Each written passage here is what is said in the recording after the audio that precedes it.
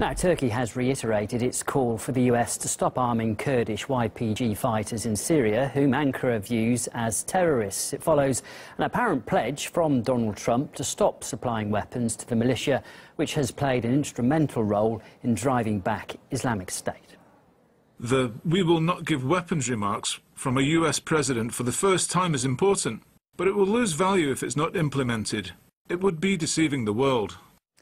If Washington does stop arming the Kurds, it is likely to go some way to easing the current tension between the US and Turkey. That issue has been a long-term stumbling block in relations between the two NATO partners. Ankara claims the US has been arming one terror group and using it to fight another. However, America seems to have its own definitions to describe the various Kurdish groups in the region, as Samira Khan explains. Kurds, the largest stateless minority in the world. The Kurdish population is in Turkey, Iraq, and Syria. And it seems for the U.S., it's more about where they are rather than who they are. Let's start with Turkey. On one side, Ankara, Washington's regional and NATO ally. On the other, Ankara's sworn enemy, the rebellious Kurdistan Workers' Party. Fight against the Daesh terrorist organization should not be led with another terror organization.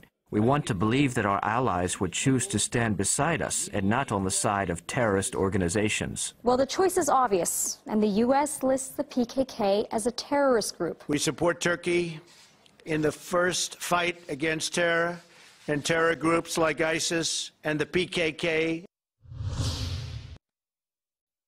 Over in Iraq, the Kurdish Peshmerga were crucial in the U.S. fight against the Islamic State. Washington put up money and provided all the weapons they needed. But with most of the fighting over, so is America's benevolence. Iraqi Kurds are losing the oil wells they fought out of terrorist control, and the reserves are now going back under government control, the U.S. obedient Baghdad. The Kurdish push for independence has also received the cold shoulder with Secretary Tillerson stating that the referendum and its results lack legitimacy and the U.S. supports a united Iraq. The disappointment is very great. Uh, although we have a, a, long negative experience with the American, the wrong signs they sent to, uh, to Abadi through their strong uh, uh position against the referendum encouraged Abadi and the Iraqi government to come so strongly and be uh, in a position that, that they think they can uh, uh, even cancel or eliminate the status of federalism in Kurdistan.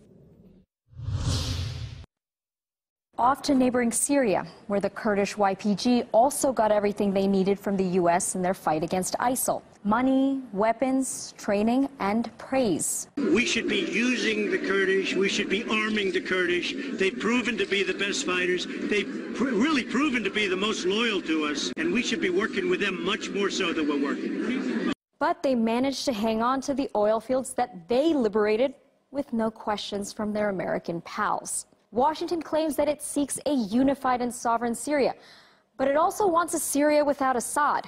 I think that the United States will continue to support the Kurds. We heard General Mattis and uh, the Secretary of Defense say only a few days ago that the United States would remain in northern Syria in order to give traction to the Geneva process. And uh, that means that the United States wants leverage. They want leverage against Assad, against Russia, and against Iran.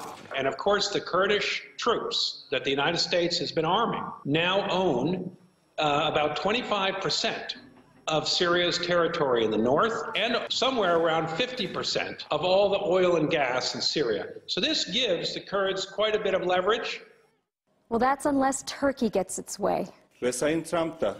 Mr. Trump clearly stated that he had given clear instructions not to provide the YPG with arms and that this nonsense should have ended long ago.